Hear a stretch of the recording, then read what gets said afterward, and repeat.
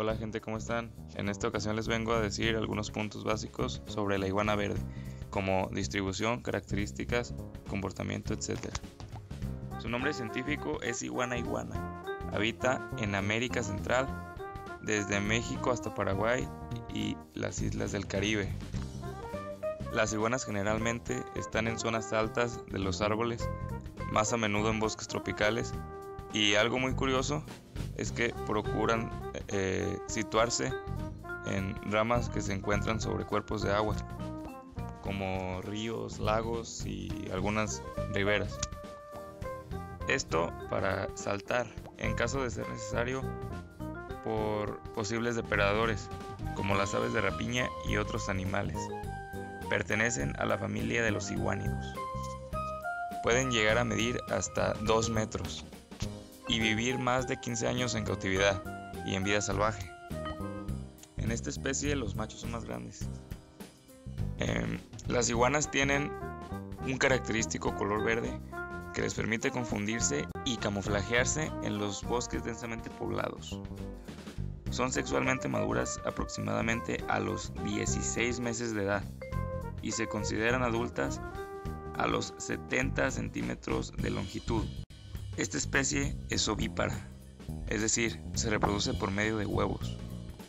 Los machos lucen un color naranja fuerte cuando están en época de reproducción, luciendo una cresta dorsal prominente y, un gran, y una gran papada.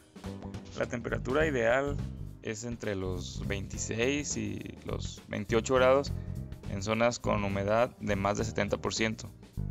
Las iguanas son especies arborícolas que pasan largos periodos de tiempo en las copas de los árboles. Están equipadas con dedos largos y fuertes, así como de uñas afiladas. La cola les sirve para estabilizarse en las alturas y a la vez para defenderse cuando son molestadas. También la cola actúa como un fuerte látigo cuando eh, es molestada y actúa, eh, bueno, golpean con fuerza y a veces eh, sueltan la cola. Y este mecanismo de defensa les es muy eficaz ya que eh, al desprenderse la cola comienza a moverse sola eh, como a causa de reflejos de los músculos em, y eso distrae al depredador.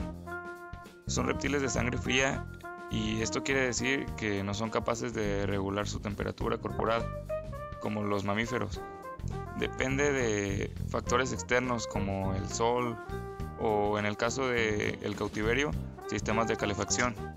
También es importante en la mayoría de los reptiles el, calor para así eh, activar el metabolismo y fomentar el apetito.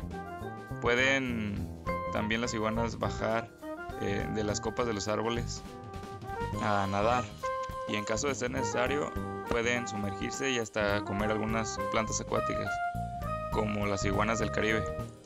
Bueno, espero que el video les haya servido y pues es un tema extenso que abarcaré en una serie de videos.